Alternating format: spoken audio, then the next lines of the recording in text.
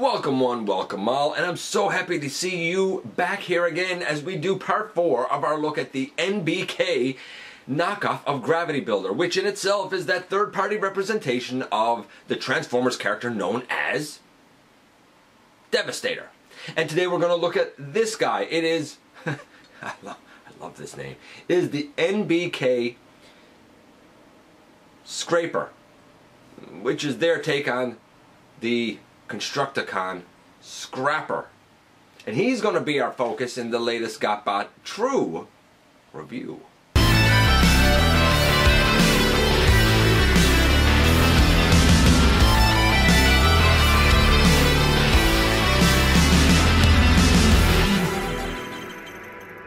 Hey one, hey all, welcome back to the channel. I'm your host, Dennis Moulton, aka GotBot. Please like, comment, share, and of course subscribe. It helps me out so, so much. Check out Machinery of Man, The Everything Factor, Transformers Collectors NL, and me everywhere, and this is Scraper. Uh, we're going to talk a little bit about grammar when we start this off, by the way. And so far, we've been kind of having a race comparing this guy to the Titan class Combiner Wars Devastator. And I'm doing that because I feel like this and that are the best options, maybe, that we have for a Chug representation of the character of Devastator.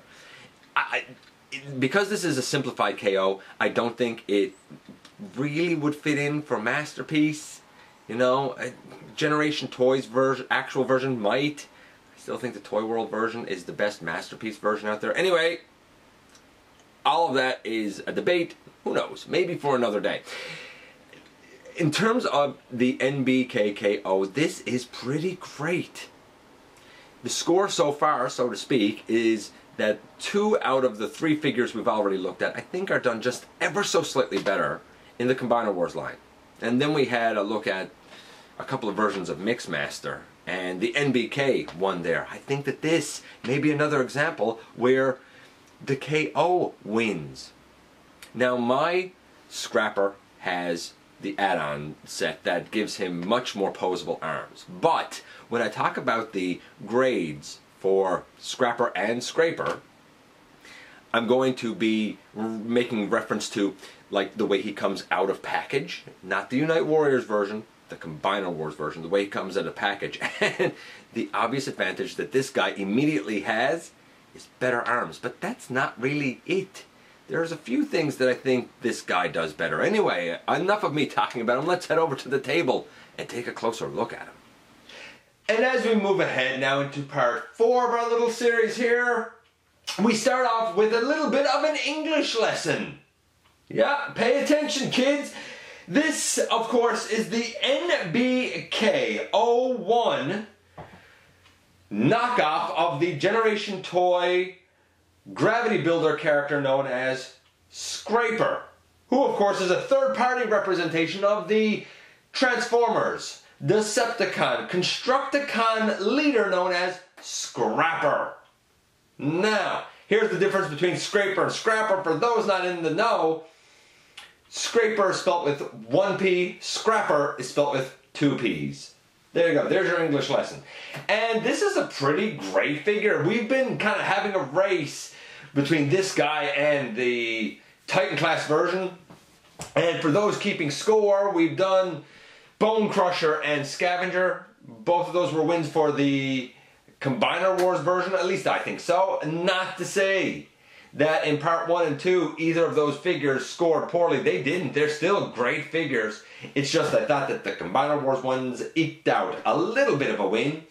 And when we done Mixmaster versus Mixmaster in part three, NBK finally got a leg up. And what about the other leg? Speaking of legs, since this guy becomes a leg for the combined form, well, we'll get to that in good time. For now, here he is as a tractor, and it's a great looking tractor. Here he is in comparison to the Combiner Wars version, and this guy is not only larger, but I feel like it looks more correct for the tractor, more accurate. This looks a little smaller and kind of squat up, so to speak. I mean, it's obvious what it is, but like I feel like this piece here could have been larger. Maybe.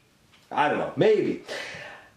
I thought that Scrapper's look was pretty good, but it wasn't perfect because I had to paint the silver on his ladders. And I will say this, I do have the upgrade arms on my Scrapper. Uh, we're going to kind of talk about this guy though in reference to what the stock version of this guy would be like. Really without his elbows, at least if you had the Combiner Wars version of it. Unite Warriors had elbows. Who knows? Eh, the elbows of Scrapper. One of the greatest mysteries of Transformers in recent years. Nevertheless, here they are in tractor mode, and I do think that the NBK version wins in tractor mode. I'm not going to give scores now. Like with all the others, I'll give them when we have the tractor mode into robot mode. Speaking of which, it's probably heading on time for us to see that conversion so that we can give this guy some proper scores. Again, like with all of these, we're going to go to his robot mode. We'll quickly go back to this and then we'll go to his leg mode. This guy is a little bit more involved than the other limbs. There's no doubt. Not a lot more, but a little bit more. Again, just like with the other ones, he has fantastic storage for his blaster. It is underneath right here, kind of between his feet. We'll see that later. By the way, when we looked at Mixmaster, I don't think I showed how his blaster fits in his hand and the, like, kind of uh, barrel of it extends just a little bit. So it does do that, and it does that just fine. Just another, just another, you know, check in the plus column for Mixmaster. As far as this guy goes, well, we're going to begin actually by removing this, if we can. Sometimes I find that it's probably easiest if we flip these pieces down. Then we can split the legs and get that out. So all we did so far is there's two little pieces on the back here. We flip them down and split them and split the, what in essence are his legs apart. We will come here to the side as well and lift these off. When we lift these off, there's a slot. I don't know if you can see it. There's a slot in the hip. There's a rectangular peg right there on the arm. That's what slotted in there and that's what we just moved out. Okay, not bad, not bad. We can straighten the arms out for now, and we're just gonna kind of leave them there sort of for now. The legs, they extend down. And the feet, they extend out. And we rotate them around and we rotate them around and we close that up.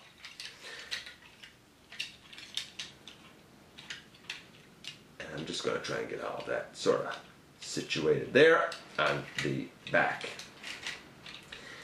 Okay, so that's in essence the legs done, really. This piece, we can pick this up, but it doesn't really help us for now. I said that, th that this is the legs done. We're only missing one thing. We gotta rotate them all the way around at the waist. And now this probably makes a little bit more sense that we have the, the front of the robot mode here. Naturally, we have him kind of going off screen now, so I'm just going to readjust things a little bit so that we can kind of finish off the rest of his conversion. So sort of as I did with Mixmaster, I kind of focused in on the, the lower part of his conversion first. It, again, just to show it as accurately, I guess, as possible. All right, so as we move kind of up the body here now, we come here and we can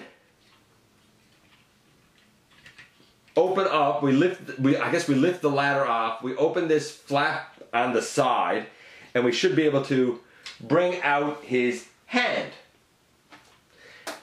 And turn the arm around, close that little tab up, rotate the ladder around and snap it in on the side and I guess if you need to move the fist as you see fit.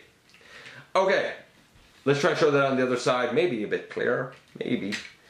So we take that, it will rotate around and it will close in again. We rotate the whole hand around, we open up here and if you hadn't done it already, you bring his hand out and close it up. And that's a good, a good portion of the body done.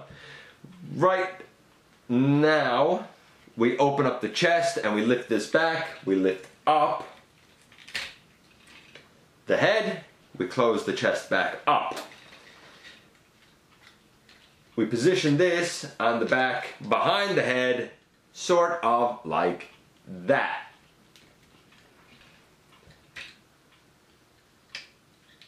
And in the end,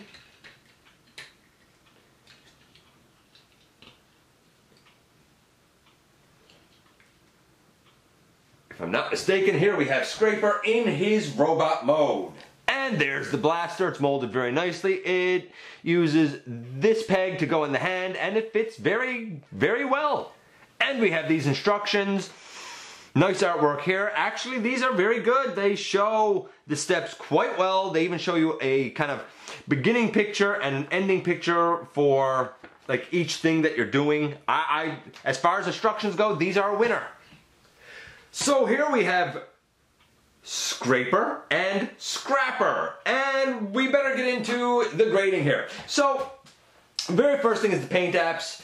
I had given this guy like nine and a half. It's very close, especially the robot mode, to the character. Very close, not perfect. I added a couple of custom paint apps. I think the tractor could have been improved on a little bit, but it's it's very accurate. Honestly, I think that this guy over here is a solid 9.25. The head sculpt could be a little bit better, but outside of that, you know, granted around his elbows has black and it probably shouldn't, but outside of that, like it's very close to the same thing. Like it's very good. 9.25. 9.25. That's a that's a nice start. We get to the articulation. Well, right now I think the articulation on this guy with the upgrade kit is a 10. It, he does everything I want him to. But I had only scored him at a 7 before because he had no elbows. So we're going to keep it at a 7 for him. What about the NBK version? Well, let's get right into that. And generally the articulation on this guy is pretty impressive. We have a head that can go left and right and look up and down we have a waist, we have shoulders that, you know, they can go forward and back no problem. They're nice and, and snug too. The arms can go way out to the side. We have a swivel. It's not a bicep swivel, but it works. We have elbows to 90 degrees. We have a wrist swivel. Now, we also, I guess, because of transformation, we also have like an inward hinge like that. It's a it's a weird elbow hinge. The only problem with that hinge is it's fine on, on like this arm, but on this one it likes to like it likes to fall down a little bit. There's a slight tolerance issue there, not major at all. But worth noting, and I, am sure that that's only because this is the KO. The legs can go well out to the sides. They can go, you know, forward pretty far. It can go, especially if you get that out of the way, it can go back pretty far. We have a thigh swivel. We have a knee really over 90 degrees. It's a nice deep knee. We have ankle tilt. We have a heel that can move up and down. We even have like foot rotation. He stands like a champion. I don't I don't know what else me or anybody else could want in terms of articulation. It's a 10. A solid 10. Now what about the transformation? The transformation is pretty good from vehicle to robot, pretty good from I guess vehicle to limb, well, from limb back to vehicle. It does have its slight fiddly points. Slight fiddly points. And I would say that the transformation, it's still a solid 9. It's just you you kind of have to get used to the fiddly points. It wasn't bad getting here, just a couple of things that were worth noting. Very quickly now, we're going to take this out of his hand and we're quickly going to go back to his tractor mode. So we open up the chest again, put the head down, close that up. We can kind of lift that up for now. For the hands here, we open the inside, fold the hand in, close it up. Same over here, open it up, fold it in, and close it up. We rotate these down and around. We take the ladder off, turn it around, bring it here to the outside. Same thing over here. Turn that around, ladder off, and to the outside. We bend basically the elbows, and the ladder kind of keeps us oriented, and we collapse in the arms. They should be able to go into the hips. Oh, we actually we can't do that yet. Don't collapse the arms in yet because I forgot that we need to turn the waist around. When we turn the waist around, now this is where stuff gets a little like fudgy going back, you're really kind of collapsing the legs a bit in a, a bit of a weird fashion. You'll know when you feel it. I can't really explain it to you other than to say you start out like this and you end up like this. You sort of probably the best way to sort of handle it is sort of bend it down, maybe, and then bend it up. It, it's it's a weird series of movements there.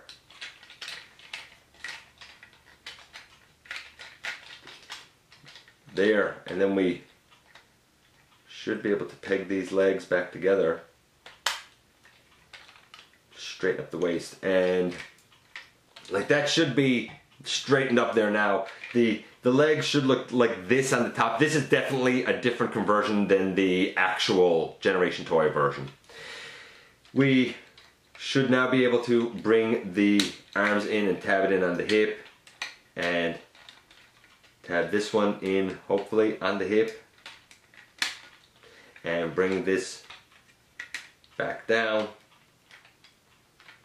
and bring that down. If you had this little piece down, you bring that, you know, back up. Then you take these feet, you turn them around, they go underneath this foot. You'll turn it around and it goes up and underneath. If your legs split, a, split apart there, you can sandwich them back together. Then you take these two little pieces at the end and they lock into one another and they flip up and when they flip up, there's a little tab here and a little tab here, and that's what they go on over. So that one should go on over there, that one should go on over there. One of these likes to go on a little, a little easier than the other one some days. But basically, in the end, boom, there you have him back in his tractor mode. Now, of course, I just changed him back here super duper quick, but you can see that, like, it's honestly, like it's not that bad. We have one more mode to get him into, and that of course will be his leg mode. And honestly, I don't think that's too bad to get into either. As long as you know what you're doing. That's the big key with this guy. Know what you're doing. So, how do we handle this? We will pick this piece up and we will take these pieces off. We will angle that so that's all sort of scrunched up. And there are a set of like tabs and whatnot in there. Like this will basically stay in position. We come to the side here and we rotate down. And we come to the other side and we rotate down. And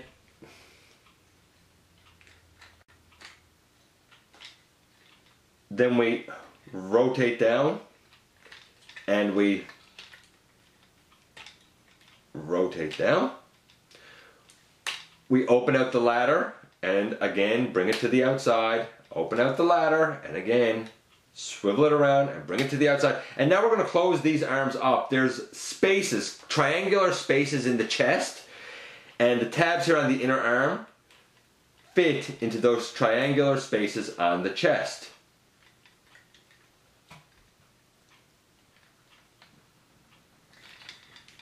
I have one in. Why am I struggling here with the other one?